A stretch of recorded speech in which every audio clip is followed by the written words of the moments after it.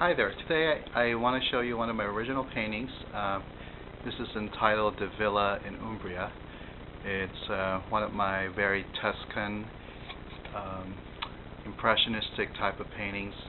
As you can see, uh, there's a lot of details in this painting. Um, it's almost like you can almost walk into the painting because of the depth and the perspective as I'm showing it to you right now. Uh, there's that light that shines through and it's very inviting to kind of walk into this painting.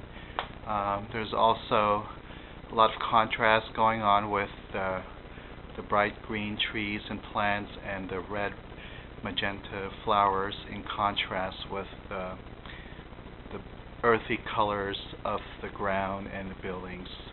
Um, this is one of my more recent works. Uh, it was painted last year and it's now in my studio here in Union City. You can see this original.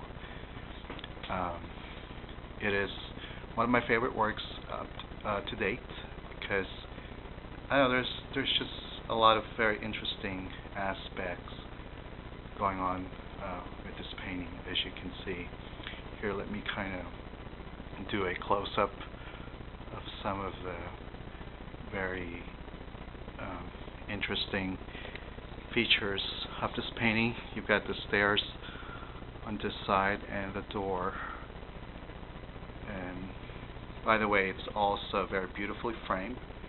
Uh, the whole frame kind of really blends well with the, the whole whole painting, as you can see. And I'm just really proud of this work and something that I thought uh, everyone everyone would like to to see. So uh, there you go. And kind of going through the top. it's just a very very happy and cheerful painting. And this is entitled The Villa in Umbria.